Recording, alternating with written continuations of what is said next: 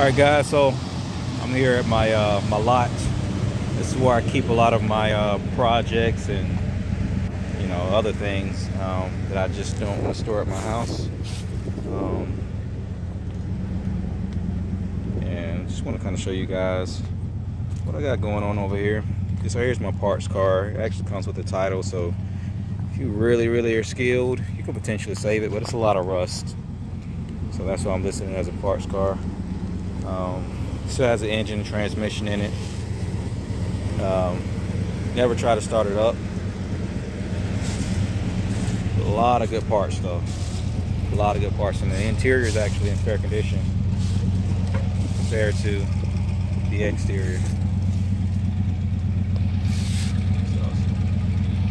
I know in a few other videos I spoke about my project uh, Rivieras, and here they are.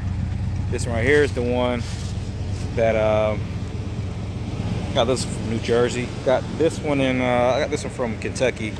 This one came from New Jersey. This actually is a 71 with a 72 grill. Um, interior is rough, but you know, I've seen a lot worse. Same with the exterior, it's rough. I've seen a lot worse. I've had somebody to start working on me, um, working on the, uh, the seats, but she was taking so long that you know I just got the car back from her. First, she said it'll take her two weeks to to redo the seats, and after two months, you know, it's all she got done. So I pulled it away, and I'm like, yeah, I'll just find somebody else. And never found anyone else. But uh, yeah. This is my 71. This is the one with the tuned up engine. She gets a 395, 400 horsepower, uh, 500 pound, pound feet of torque. Uh, she gets up and goes. This is the, uh, can't remember where I got this one from. I've been so, so many places. I think I got this from either Ohio or Indiana, if I'm not mistaken. But this is the one I had.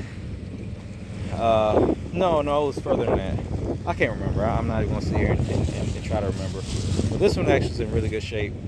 Um, this is the one I showed you guys. It had a ripped uh, top, so the top needs to be replaced. But the interior is fair. Uh, it wouldn't take a whole lot at all to get this interior look pretty good. The dash, no cracks at all, like at all, at all, at all. Um, I tried to start her up, but couldn't get her going. So I'm thinking about getting a mechanic over here and uh, seeing what we got going on with her, seeing what issues she have. Um, but yeah, by far the best condition as far as the uh, the body. Really good looking car.